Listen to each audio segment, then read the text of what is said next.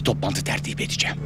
Bana gönülden bağlı aşiret liderlerine Osmanlı'yı desteklediğimizi ilan edeceğim. Neccar'ı ahmak sanıyorlar. Ama ben aşiret liderlerinin içinde bir muhbirleri olduğunu biliyorum. Sadullah.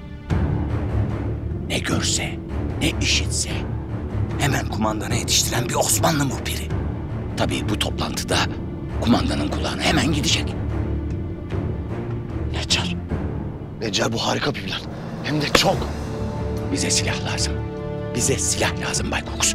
Hem de çok fazla silah. Tamam onu bana bırak. General Barrett her ne kadar inatçı olsa da ben onu ikna etmesini bilirim. Ben size istediklerinizi vereceğim. Siz de bana. Aşiretleri yanınıza çekeceğim. Cephede Osmanlı'ya hiç tahmin etmedikleri bir ders vereceğiz. Tabii bütün bunların bir bedeli var.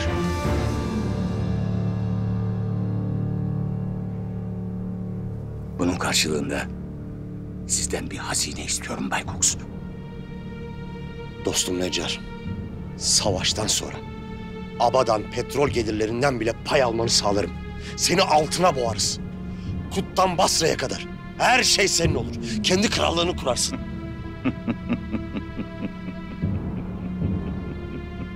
Bunları zaten vereceksiniz. Bunlar savaşın bana ve neslime bahşettiği maddi kazançlar olacak. Başka ne istiyorsun ki? Victoria'yı.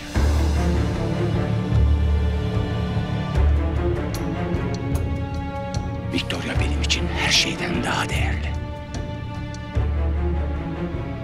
Onunla evlenmek istiyorum Ve onu bu işe ikna edecek bir tek kişi var o da sizsiniz.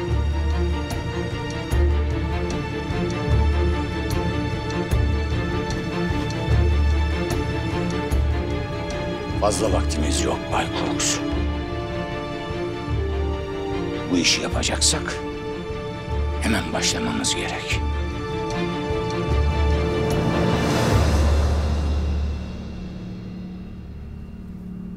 Tamam. Halledeceğim Necar. Güzel. Sizden iyi haberleri bekliyorum.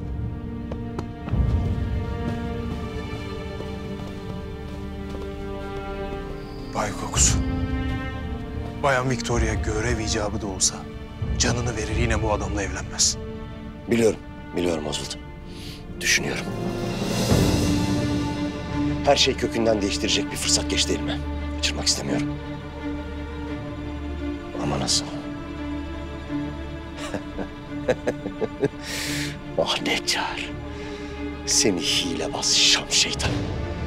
Sendelediğimiz anda bizi çarpmak istiyor. İşte bunların bu yüzden devleti yok Oswald. Bunlar çıkarcı. Hep siyaset peşindeler.